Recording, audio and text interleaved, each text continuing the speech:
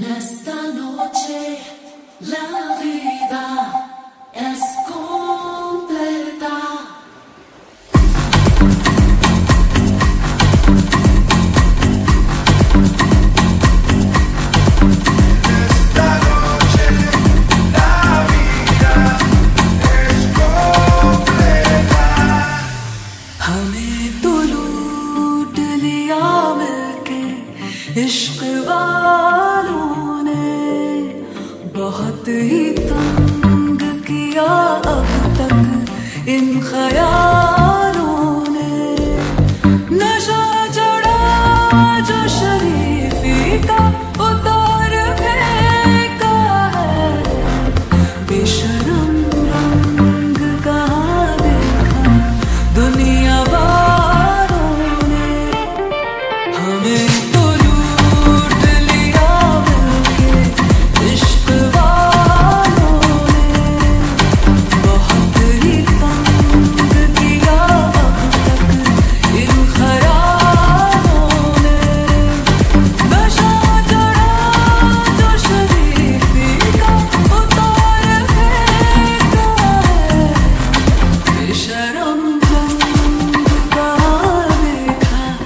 दुनिया